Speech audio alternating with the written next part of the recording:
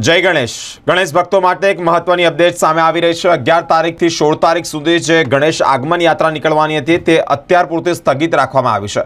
પ્રતાપ મરઘાની પોર્ડ યુવક મંડળ દ્વારા જે ગણેશજીની આગમન યાત્રા નીકળવાની હતી, તે હાલ પૂરતી અત્યારે સ્થગિત રાખવામાં આવી છે. મહત્વની બાબત એ છે કે વડોદરા શહેરમાં તિરંગા યાત્રા યોજાઈ રહી છે, જેને લઈને પોલીસનો જે સ્ટાફ છે, જે બંદોબસ્ત છે, તે ત્યાં અત્યારે તૈનાત છે એટલે કે ત્યાં જ કામે લાગ્યો છે. ત્યારે સ્ટાફ પૂરતો ન હોવાની એક માહિતી સામે આવી છે.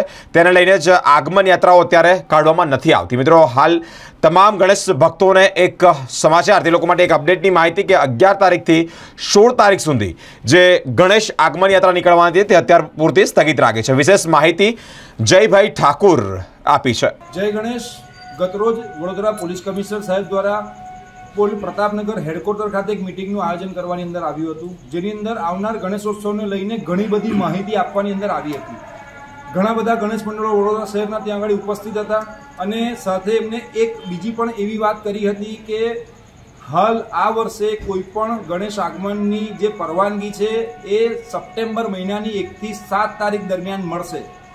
એની સાથે વડોદરા ગણેશોત્સવ સમિતિ સાથે પણ એમને ત્યાં આગળ વાત કરી હતી અને એમને જણાવ્યું હતું કે તમારું કોઈ પણ સજેશન હોય તો એ આવતીકાલે એટલે આજરોજ અમારે એમની પાસે લઈને જવાનું હતું. આજે ત્રણ કલાકે બપોરે અમે લોકો પોલીસ કમિશનર સાહેબને વડોદરા ગણેશોત્સવ સમિતિની ટીમ મળી હતી. અમે એમને રજૂઆત કરી. કે ખૂબ મોટા મોટા પંડાલો હોય છે, ખૂબ મોટા મોટા ડેકોરેશન હોય છે, જેને લઈને અમે લોકોએ સમય મર્યાદાની અંદર પહોંચી નહીં વળીએ. સાથે સામ સામે જ્યારે ગણેશ મંડળો આવતા હોય છે, ત્યારે ઘર્ષણ થવાના પણ ચાન્સીસ હોય છે. તો એમને જણાવ્યું છે કે હાલ પૂરતું, વડોદરા પોલીસ કમિશનર સાહેબ દ્વારા જણાવવામાં આવ્યું છે કે તારીખ અગિયારથી લઈ અને સોળ સુધી ઘણા બધા પ્રબંધ છે. ધર્મ આપણા માટે સૌથી પહેલા, સનાતન ધર્મ સૌથી પહેલા છે, પણ સાથે સાથે આપણો દેશ પણ છે. જ્યારે સ્વાતંત્ર્ય દિવસની ખૂબ રંગેચંગે વડોદરા શહેરની અંદર પોલીસ કમિશનર સાહેબ વડોદરા જ્યારે ઉજવણી કરવા જતા હોય, ત્યારે ઘણી બધી જગ્યાએ પોલીસ બંદોબસ્ત ફાળવવાનો છે, સાથે શ્રાવણ મહિનો ચાલી રહ્યો છે. શ્રાવણ મહિનાના કારણે પણ ઘણી બધા મંદિરો પર ખૂબ વધારે ભીડ હોવાને કારણે ત્યાં પણ પોલીસ બંદોબસ્ત આપવાનો હોય છે, જેને કારણે એમની પાસે પૂરતો પોલીસ બંદોબસ્ત આપણા આગમન યાત્રા દરમિયાન નથી આપી શકતા. જેથી કરીને અગિયારથી લઈને સોળ તારીખ સુધીની તમામ આગમન યાત્રા સ્થગિત કરવાની અંદર આવી છે. આની અંદર પંદર ઓગસ્ટના રોજ જે પ્રતાપ મરધાની સાર્વજનિક ગણેશોત્સવની આગમન યાત્રા હતી, એને પણ અમે લોકોએ સ્થગિત રાખી છે. વડોદરા પોલીસ કમિશનર શ્રી પણ ઈચ્છે છે કે ખૂબ રંગે ચંગે વડોદરા શહેરની અંદર ગણેશોત્સવની ઉજવણી થાય, પણ સાથે સાથે એ પણ એ સાર સંભાળ રાખી રહ્યા છે.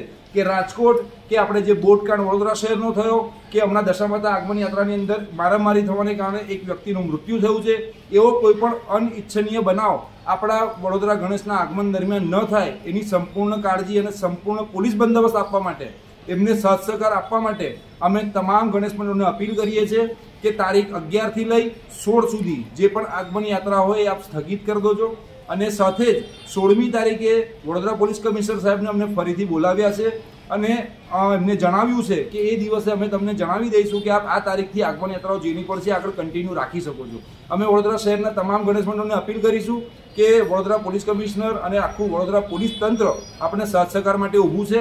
આપણે પણ એમને સહજ સહકાર આપીએ. આગમન યાત્રાની ડેટ બદલવાથી કોઈ નાનું મોટું નથી થઈ જતું. હા, થોડુંક અઘુ પાછું આપણે કરવું પડે. જે રીતે પોલીસ આપણા માટે રાતોરાત જાગીને આપણી સુરક્ષા માટે તમામે તમામ પ્રયાસો કરતી હોય, તો જ્યારે આપણે નાના મોટા એડજસ્ટમેન્ટ કરવાના આવે, તો આપણે પણ એમની સાથે ઊભા રહીએ અને એડજસ્ટમેન્ટ આપણે કરીએ. આપ સર્વે ગણેશ મંડળની અપીલ છે સાથ સહકાર આપવા માટે. જય ગણેશ, ગણપતિ બાપ્પા મોર્યા.